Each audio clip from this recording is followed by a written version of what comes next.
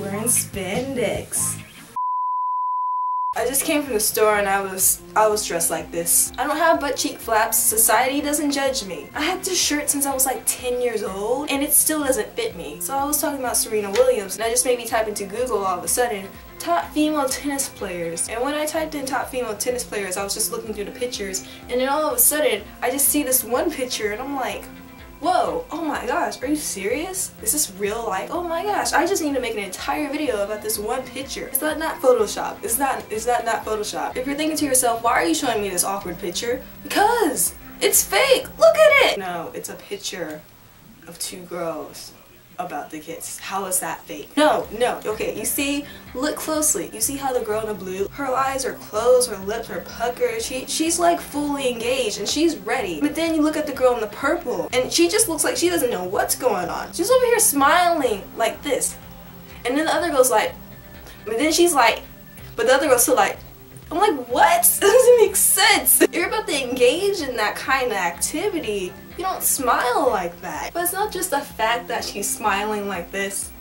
But it's also the fact that what is she looking at? There's a girl right in front of your face. Why are you looking over there?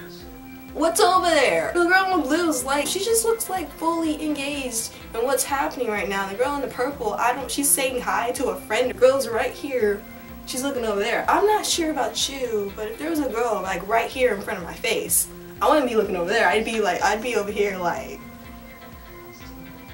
I don't even think this girl realizes that she's like right in front of her face. The girl in the blue, she's ready for this to go now. She's been prepared for this all her life. The girl in the purple's just I don't know what she's looking at. She's looking at the clouds like, oh my gosh, that one looks like a buffalo. Oh my gosh, that one looks like a box. Wait, what's that smell? That kind of smell that you smell when someone's brushed their teeth in the morning and you know they brushed their teeth in the morning or at least they attempt to, but as the day went on, their teeth brushing started to fade off and now their breath smells really bad because they need a breath mint or something. That smell, it's so warm.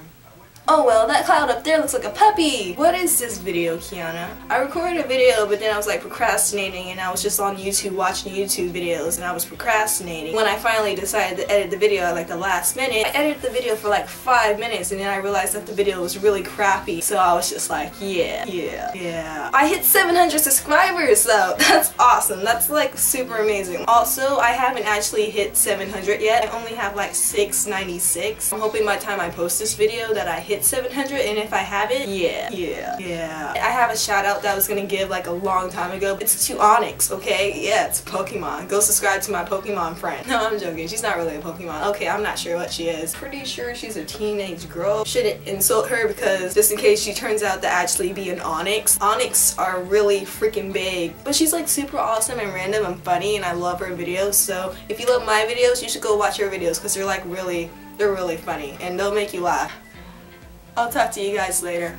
Peace. I'm not cool enough to do this. No, seriously, bye now.